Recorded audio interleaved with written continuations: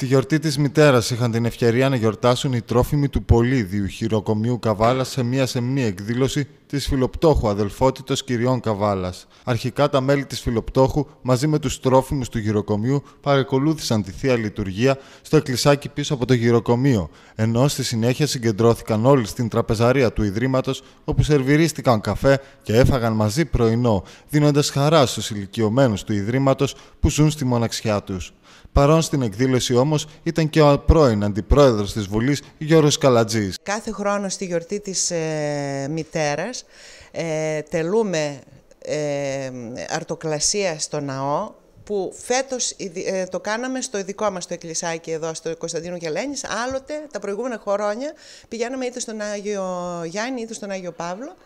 Ε, λοιπόν, φέτος λοιπόν το κάναμε την αρτοκλασία για, την, για να τιμήσουμε την ε, ημέρα αυτή στην ε, εκκλησία του Γεροκομείου ε, και στη συνέχεια έχουμε καλέσει διαπροσκλήσεων τα μέλη των διοικητικών, ε, τα μέλη των διοικητικών συμβουλίων των γυναικείων σωματείων και στην εφημερίδα βέβαια κάναμε για τα μέλη της Φιλοπτώχου, τα οποία τα καλέσαμε μετά την αρτοκλασία να πιούμε ένα καφεδάκι, να πούμε δύο κουβεντούλες. Αυτό είναι να, να πω έθιμο που γίνεται εδώ και πολλά χρόνια.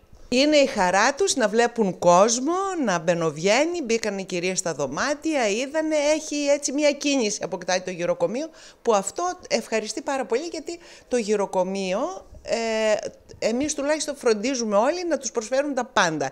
Τους λείπει αυτό, η επικοινωνία με, τον, με το έξω κόσμο, να βλέπουν κίνηση, να πούν κουβέντα και αυτά.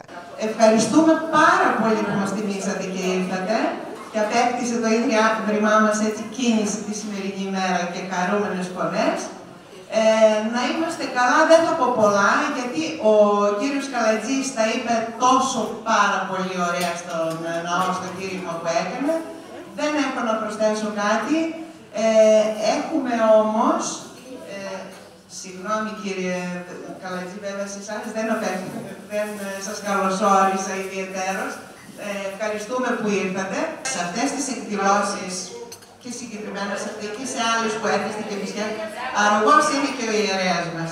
Έχουμε τον ιερέα μας, τον πατέρα Θεόδωρο, που μας ε, βρίσκεται πάντα σε ό,τι το ζητήσουμε. Ε, τι να πω, προσέχετε για μας, μας βοηθάει σε όποια δύσκολη στιγμή και αν Αργότερα, υπάλληλος του Ιδρύματος επεφύλασε στους τρόφιμους μία έκπληξη, καθώς έγραψε και ανέγνωσε ένα ποίημα ειδικά αφιερωμένο στη γιορτή της μητέρας και τον ρόλο της μέσα στην οικογένεια. Μάνα, έτσι απλά, τα πάντα εν σοφία επίησες και έτσι τα ταυτοποίησες, άντρας να μην τεκνοποιεί. Πόνους της γένας έδωσες, και με τη μάνα ένιωσες θαύμα τι θα πει. Το βίζαξες, τον τάτεψες, την κούνια του προστάτεψες, κακό να μην το βρει. Τον πυρετό του δρόσισες και την αρρώστια ξόρκισες, μεγάλος να γεννεί.